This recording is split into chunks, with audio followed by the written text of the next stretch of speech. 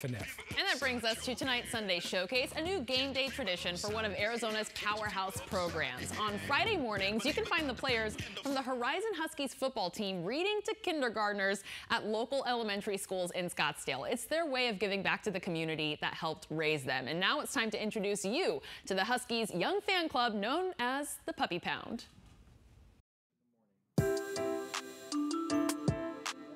All right, so this book is called Goldilicious.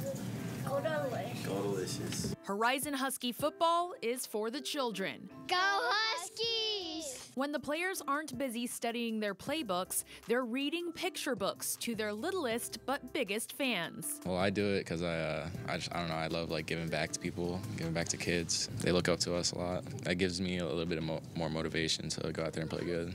Horizon assistant coach Trey Hickam says the student athletes came up with this idea a few years ago. Now these visits are something the kids can look forward to every week. We want to show that we care, and we want to show them that, um, yeah, we're yeah we play are football players, and I want to make sure that these kids are, are grown into men.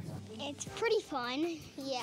And sometimes the Huskies even come with surprises. We uh, decided to donate 12 uh, backpacks that have school supplies in it. From the school supplies to the high fives, these young men are making an impact on the next generation. And if you ask the little ones who their favorite team in Arizona is, they'll tell you Horizon Huskies, of course.